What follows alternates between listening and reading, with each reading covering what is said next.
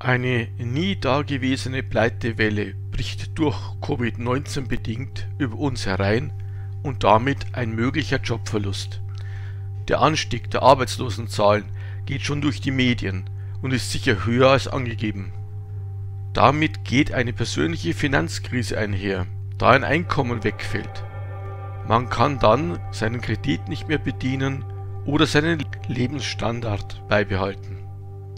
Die Sozialkassen sind fast leer und darauf kann und sollte man sich nicht verlassen.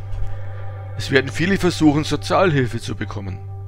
Vorab, lass nur auf dem Konto, was du brauchst, um es für laufende Kosten zu decken. Sollte eine Währungsumstellung kommen, wirst du nicht mehr an dein Geld herankommen. Wie kommt man jetzt noch zurecht? Nun erst einmal durch Reduktion von Fixkosten und den Verzicht auf Luxus. Wenn man es nicht wirklich braucht, das Kfz abmelden. Da spart man Steuer, Versicherung und Treibstoffkosten. Wenn man nicht pendeln muss, lohnt sich die Anschaffung eines Fahrrads. Wenn man nicht zu Fuß laufen will, eventuell ist ein Fahrradanhänger sinnvoll. Man kann darüber nachdenken, das Kfz zu verkaufen. Vom Erlös könnte man sich mit Vorräten eindecken. Das Rauchen aufhören klingt für viele sehr hart, aber rechnet euch mal durch, was ihr im Monat für Zigaretten ausgibt. Unnötige Versicherungen rückkaufen, kündigen oder einfach nicht mehr zahlen. Die Anzahl der Handyverträge reduzieren. Kosten für DSL und Kabelfernsehen reduzieren. In einer Krise hat man Besseres zu tun, als sich Seifenopern anzuschauen. Strom, Wasser und Heizung sparen, Nebenkosten senken, Geräte ausstecken und nicht im Standby lassen.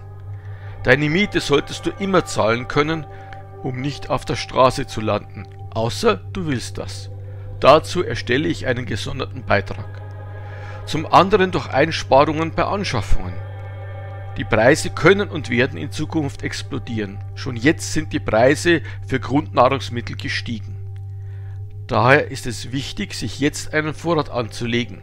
Was heute weniger kostet, kann schon bald nicht mehr erschwinglich sein. Zum Thema Vorrat anlegen werde ich in Kürze ein Video einstellen. Wenn man keine Arbeit mehr hat, hat man Zeit zu sammeln.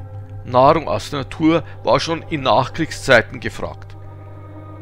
Flaschen, um an das Pfandgeld zu kommen, Brennmaterial und so weiter.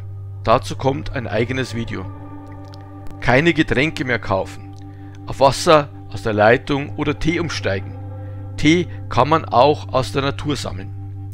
Wenn Wasser nicht mehr aus der Leitung kommt, kann man sich mit einem Filtersystem wie zum Beispiel einem Katadynfilter behelfen.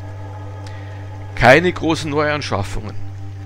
Lieber, wenn die fertig Möglichkeiten vorhanden sind, Eigenreparaturen versuchen.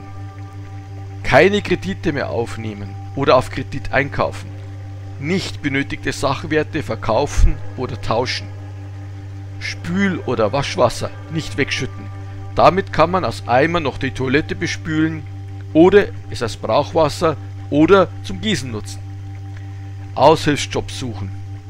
Nicht festgefahren denken, jedes Einkommen, sei es noch so gering, hilft euch über die Krise zu kommen.